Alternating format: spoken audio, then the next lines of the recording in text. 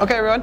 Uh, I'm Justin Pate from the Wrap Institute, and I see a lot of familiar faces, so hello, everyone. Uh, so for this demo, actually, we're not going to do it here. We're actually going to do it back in what I call the production pad. All right, so because what we're trying to do this year in the Wrap Institute is not only show lots of different things to wrap, want to show the whole process of wrapping in the sense of like from production to design, all that stuff. So uh, earlier I talked about what these guys are doing on the van. Later today at 3.30, interviewing uh, uh, Christina Burton from Curvaceous Wraps about how she came up with the design. Actually, earlier today in the booth, we had Brian Thompson. He actually works for Nissan and Airstream.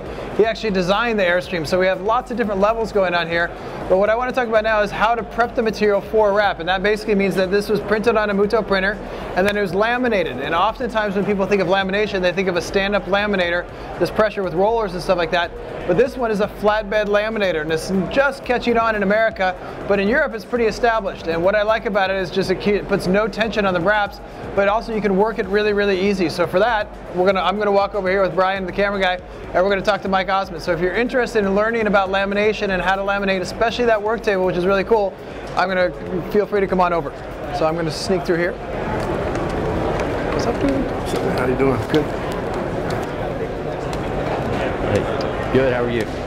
All right, Mike. Yes, and Sir a Mike, mounter application tape. I got you. okay, so this is Mike Osman, CWT Work Tools. All right, so you are good to go. I think your mic is on or off? Off. On? Off? There we go. Okay, so Mike, uh, it's been great to have you in the booth this year. Thank and you, Justin. We got a lot of people who are interested Yep. in laminations, laminators right now. Right. So what makes this different, obviously, than the standard laminator that's available today? What we have is a 13 foot table where we can panel each piece instead of standing behind the roller and feed it in or going roll to roll. With, without the tension rollers that normal laminator would have on top, we won't stretch the cast vinyl film. Each square inch of it going down is going to be two millimeter or one millimeter from the start to the end. There's no heat on the roller that'll also uh, stretch the film when you're doing it. So at the start and at the end, normally on a roll to roll, you'll have thin spots on it on your film. Well, exactly. I mean, so basically, uh, people are used to a, a laminator where basically you roll it in, you kind of crank the knobs to get it going through and stuff like Right. that. But this is totally different where the panels are just laying flat. Right. There's no tension on them. And then he's got a roller that comes down and then you just feed it. So we got a panel Good. right here that we can start. So basically right now, this is the lamination that's going on over top and it's going over top of a print. So this particular print, this is Avery's 1106, which is their uh, material for high, like low surface energy. This lamination is for 1460. So what's great about it though, instead of caring about the whole roll, they're just gonna come here with the long handled cutter right now and just gonna slice it. So you're not gonna put on this giant piece because what often happens when you got a roller, obviously, and you know the story, Right. is that if you roll, if you load it wrong, it's game over If for you your roll entire it print. wrong, and also when you're feeding up, you waste a ton of film. Right. And this film, obviously, square foot wise, has been the 40, 45 cent range, I would believe. Right. And we've sheeted it off, so our waste on this piece is going to be minimal. We have a couple of inches of waste that's actually going to hit the trash. So basically, you know, you got it to here. It's very easy and straightforward. You cut it down, but instead of like some people would think, okay, what are you going to do right now? Hand laminate it. You're Right. not. What I want you guys to appreciate is once you guys set up with the roller, how easy Yeah. this is. So how, how is that set up? What he's going to do is he's measuring the sheet now to cut off this little piece of waste. Okay. So he's lining it up. He'll come to this side, and he's going to cut it to where the film is going to be on the vinyl and not actually on the table. That way, it saves cleanup at the end of the day. So the goal right now is you don't want the lamination touching the table. Right. That- Okay. and that's for cleaning purpose. At the end of the day, you don't want a lot of adhesive on the table. Right. So while we can cut it to the inside, what you want to do, this is the total waste we'll have doing that size print versus feeding it into a rolled normal laminator. So, so right now, having a, obviously a long-handled cutter right now is massively important. is- so right now you have the panel here, so it doesn't matter if it's straight or crooked, as long as it fits on the table, as long as you're it good. fits on the table. So he'll So- put it back over and line it up. So the idea right now is so. Um, what, what I like about this is you can you can install in sections. So let's say if you, You have didn't leave a big 25 yards right? on a roll, and you load the roll through a standard laminator, if it starts to drift or go off, there's a chance, or if it kinks, you might have to reprint Right. the whole thing. What's interesting about this table is generally your panels for a car or wall are eight feet. They're not longer than that. Right. So basically, right now, if you screw up one panel, you only screw up one panel as opposed to a whole roll. Plus, you have to think as a wrapper right now, all right? a lot of times we're wrapping bumpers and mirrors on cars, but what that creates is, We'll especially further. if the laminator turns That's some knobs to kind of make you know glass when they're laminating, that's actually going to stretch the wrap before we even get to a bumper or a mirror. Then we get to a bumper or mirror, we're stretching the material farther, and sometimes when the material fails, it's right not here. because we did it wrong, it's because there's already tension on the material. Interesting.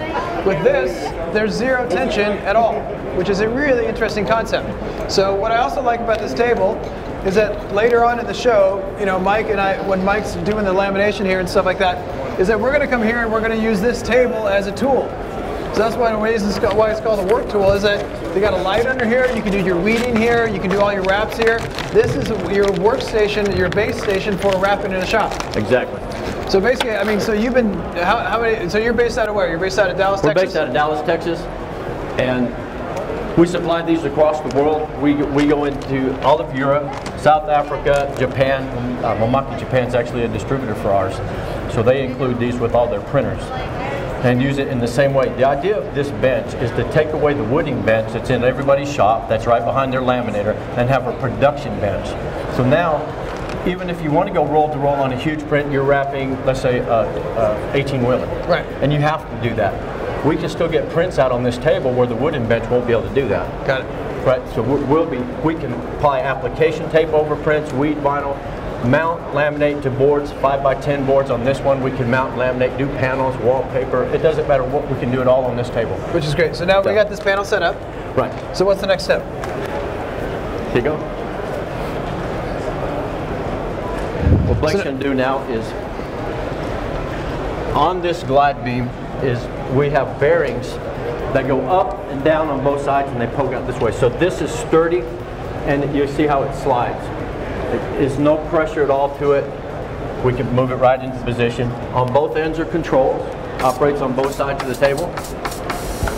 It's step, it doesn't go straight down and crush the fingers.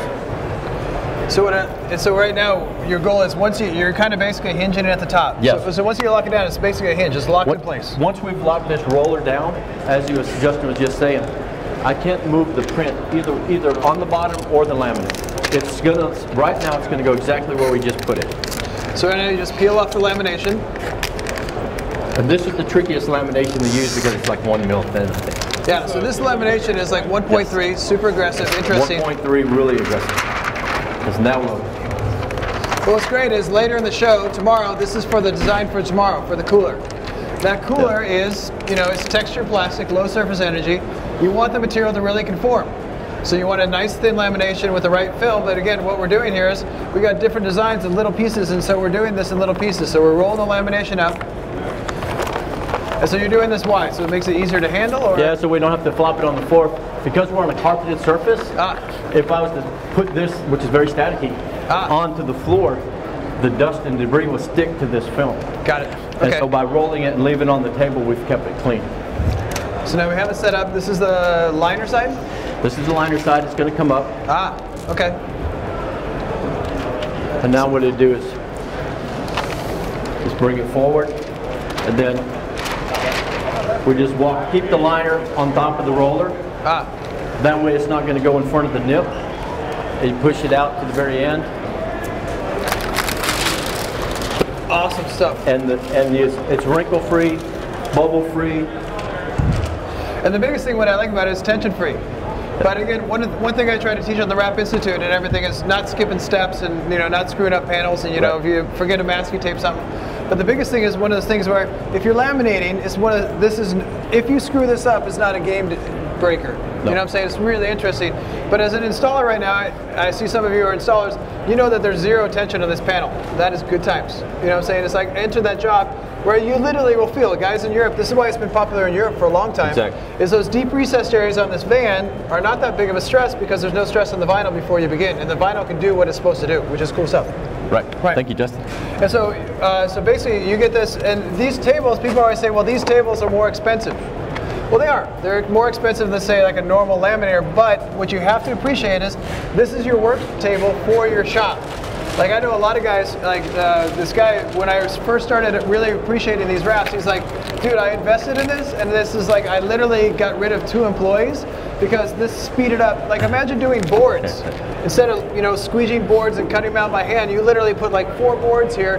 Take this thing and you literally wrap the boards and then you laminate the boards and you cut them out. Like it literally drops production time sometimes by a much as like So- 40, 50 percent. Ideally, if, let's say Blake is doing this side of the table. I have another employee down here that's weeding vinyl.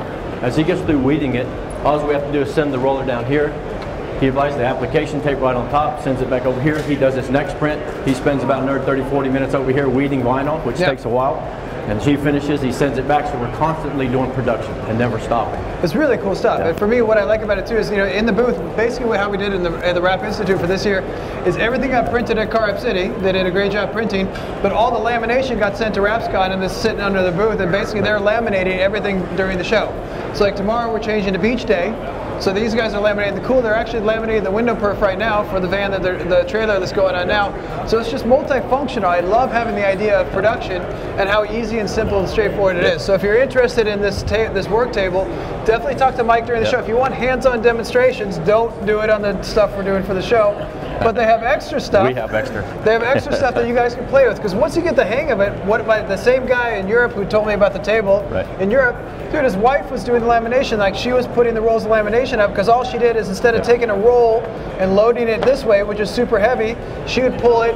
Cut a slice and then lay it on the table. That's why she could do it by herself. but- and it's just bam, bam, bam. So if you want to put your wife to work, cool. That's awesome stuff. By not changing out rolls all the time on a laminator, we're saving that little piece you always have to use. Exactly. Which that adds up at the end of the day. The other thing you noticed how easy this was, like you said, your wife can do it, your girlfriend can do it, the, the secretary that answers the phone can do it. Your laminator operator is no longer uh, professional. That's how you want to say. It. It's not like printing; it's a technique to do Yeah. lamination, and that technique has to be learned over a period of time. Those guys are real valuable, whereas this one anybody can do it. And what you have to think about too is, not so much at this show that we're doing, is uh, color change. You know, color change is really popular in the industry right now. It's just wrapping a color. But what you can do is, if you want to put like a little matte streak on a on a piece, or you want to experiment and show your client, we're going to put some sparkle on. You just cut a little piece, put this on, bam, bam, done. Show it to your client. Awesome Yeah. stuff. So it's one of those things where this table, again, I'm not. This is the Wrap Institute. Wrap Institute is totally neutral. Yeah. I sought Mike out on purpose because I think this table's cool. Yeah. This is a valuable thing. If I was getting a sign shop today, I would buy a table like this because I think it just makes sense because this is where your whole shop is going to be based around, and it's a mistake-free engine. It's just cool stuff. That's it. Now I'll go over the table just one more time. We have solid steel on the on these Raptors. Solid steel every around. The only aluminum is going to be the side pockets. This unit weighs 1,400 pounds. Underneath the cutting mat, we have glass, which is going to keep it level. This is hardened glass. The, the glide beam has the bearings that, like I say, go up and down and moves really easily. We would attach on these bolts where we put the application tape and we would roll it around here so we can apply that really easily as well. A four by, a, five by 10 board, if you're doing panels, can be easily be done by laying it on the table, bring the glide beam to one end, and one person can do this. You do exactly as Blake did at the beginning. You would feed it around on this end instead of trying to reach across the table. You have full access at this end. You curl it under, drop the roller, and you move that direction, and your panel's out. We had an independent study done on this by a major franchise group on a seal laminator doing four by eight boards. It accomplished 22 of them because a, mo- a, a laminator has a step motor in it. That's moving. We're moving this by hand.